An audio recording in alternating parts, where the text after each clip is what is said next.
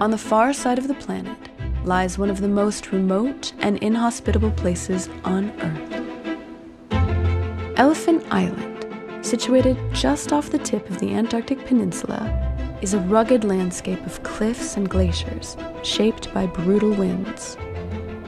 It's also home to vast colonies of one of Antarctica's most iconic animals.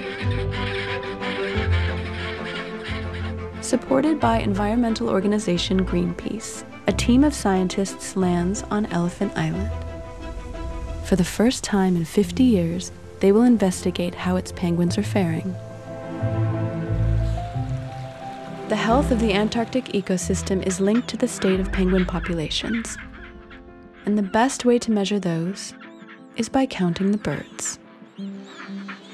So we're counting penguins, and why do we count penguins? Well, penguins are great bioindicators, and they'll tell us what the health of the ocean around Antarctica is because they eat krill, krill eat phytoplankton, so we can tell indirectly what the productivity of the oceans around here, how it's responding to environmental change. And so we can't really adequately count the phytoplankton. It's really difficult to count the krill. But we can count penguins because they come ashore every year to these same places to breed. And we're getting some idea about how the ocean is performing by how penguin populations change over time.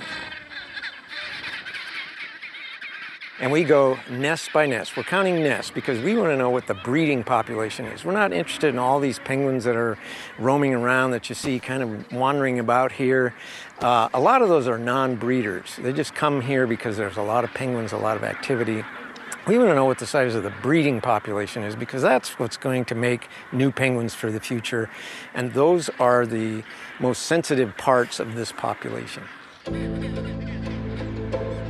There are multiple penguin species on Elephant Island, such as the gentoo with their distinctive orange beak, the flamboyant macaroni penguin, and even these towering king penguins carefully shuffling across the island.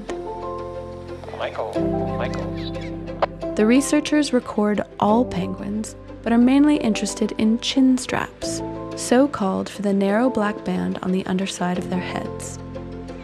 The chin straps are the noisiest and most numerous penguin on the island. And since weather conditions here are not always suitable for field work, the race is on to find out exactly how numerous the chin straps still are.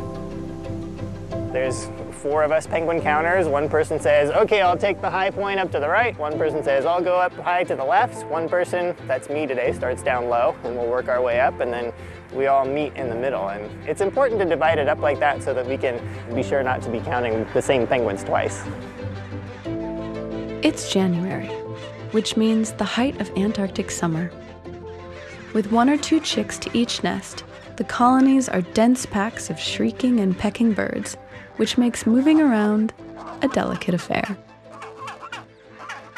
Normally we don't try to walk through the colony because it's so dense, but here there's just no free space in between the penguins. So very carefully, you try to step on the high stones between the birds and um, obviously not get too close to their nests if you can.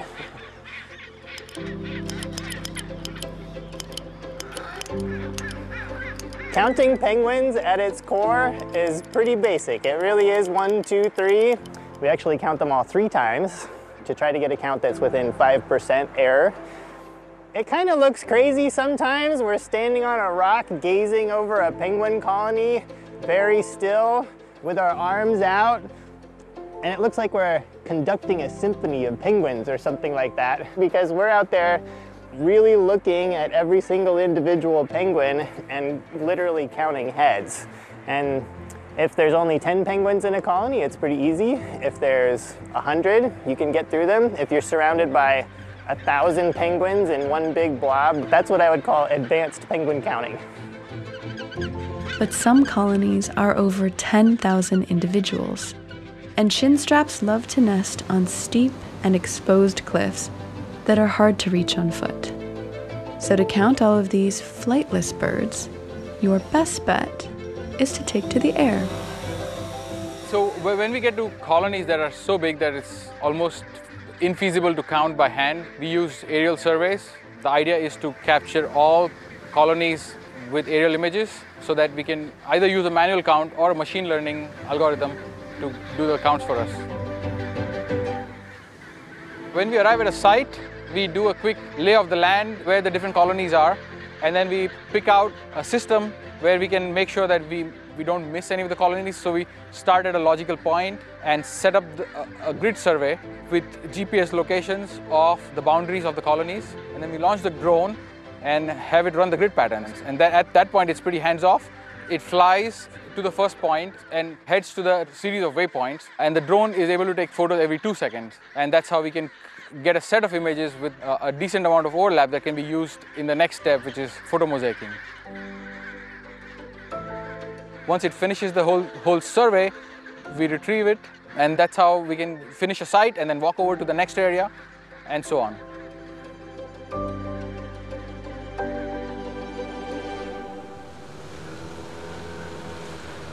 For a bird nerd like me, being in the middle of a penguin colony here in a practically unexplored island in Antarctica is like the ultimate experience. I can't even describe it. Makes my skin tingle when we're on the Zodiac and we're coming into the beach, just seeing all these birds waiting for us to arrive.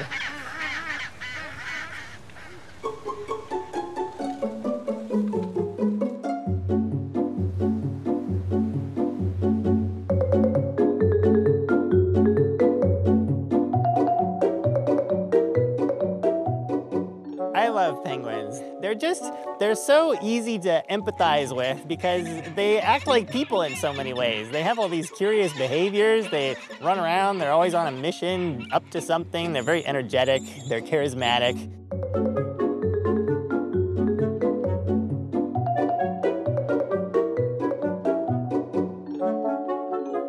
Penguins are really amazing creatures. They are hardcore, and they have some pretty amazing adaptations to survive here. They have um, the densest packed feathers of any bird in the world. It's something like 90 feathers per square inch. That gives them their waterproof parka and uh, down jacket all in one.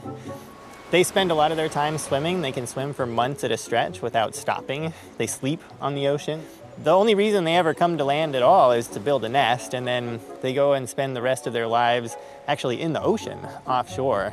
And to be an animal that only exists in the Southern Ocean for months at a time, just swimming around, finding the fish and krill that they need to eat, that is hard for us to imagine and comprehend, and that I think is partly why it's so fascinating for us to see penguins down here.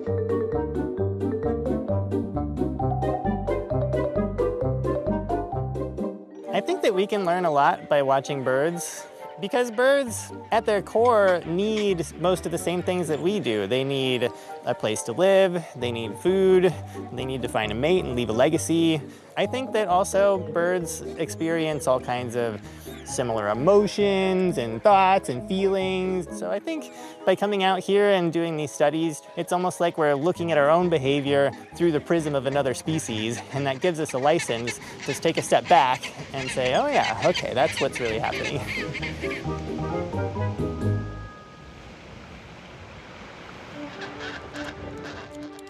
Penguin colonies may remain in place for centuries and chin straps, even though they venture out to sea for hundreds of miles, always return to the same colony to breed. The last and only time Elephant Island's penguin population was properly surveyed was in 1971. The maps and data from that British Joint Services expedition are now being used by the present day researchers. So we've got some great data from 50 years ago about what the penguin populations looked like. So we'll compare our counts to that, that historic data and we'll get some idea about whether things are changing or not. Penguins are extremely well adapted to live in Antarctica in these conditions. But when those conditions then start to change, that's when we start getting worried about them because they've evolved over so many eons to live in this place as it is, and then as it starts to change, then we'll see how adaptable the penguins can be. The Antarctic is witnessing vast changes. Over the past 50 years, temperatures have risen by around 3 degrees centigrade, one of the fastest increases in the world. Among other things, the warming affects ice formation. And the underside of sea ice is a critical habitat for krill, the shrimp like creatures which are food for many of Antarctica's animals, including chinstrap penguins. The climate change losers here are chinstrap penguins. Everywhere else we go on the peninsula, we're seeing chinstrap declines over the last 50 years, and it's been dramatic. Some of those populations have declined as much as 50%. We've seen chinstrap colonies uh, completely vanish. A changing climate is not the only threat to chinstraps. In recent years, krill fishing has caused competition for their food, creating additional pressure on the penguins in ways we are yet to fully understand. After 10 days of counting and covering 98% of the colonies surveyed in 1971, it's time for the researchers to add up the results. 44, 45, 45, 16 three times. All of Elephant Island's 32 colonies show declines, and overall the chinstrap population has fallen by almost 60% in 50 years. 11 three times. We try to keep uh, an impartial look at this in terms of uh, our emotional response to the data. It's, it's disturbing from the standpoint of the amount of change that's happening so rapidly. We just don't see this kind of stuff in other ecosystems um, generally. Uh, if you'd seen this with, say, any terrestrial mammal species over a 50 year period, people would be certainly concerned. It suggests the amount of change that's happening here, how rapid it's, it is. And it remains to be seen what the, what the ultimate consequences are, not just for chinstrap penguins, but for the ecosystem as a whole.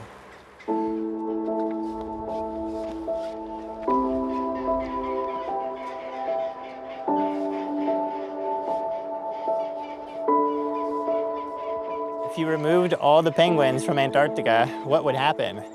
I don't want to do that experiment as a scientist or as a person who loves birds. Penguins are a keystone in Antarctica. There's something like 90% of the avian biomass in this region is penguins, and there are millions and millions of them. We are seeing some worrying declines in their populations. So right now I'm not so much worried that the chinstrap penguin is going to go extinct as that they're telling us that something in their larger ecosystem is broken in some way and that the changes in their populations are reflecting that.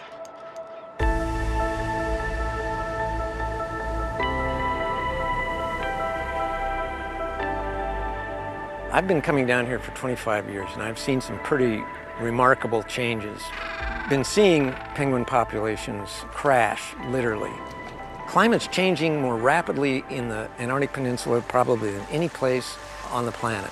It's very likely that when we experience these things in our temperate climates where we all live, we're also going to have to adapt just as the chinstrap penguins are doing right now. So it's a lesson for us because we've we, we, either are going to heed this example that we're seeing down here in the Antarctic, or we won't. And we'll suffer the consequences just as, unfortunately, the chinstrap penguins seem to be doing down here. They don't have a chance to control their environment. They're stuck with whatever we hand them, but we have the ability to change, and, and we should take serious measures to do so. Antarctica has always been a continent that has challenged us. Now its challenge is for us to leave it unharmed and establish large scale protection for those living on the edge.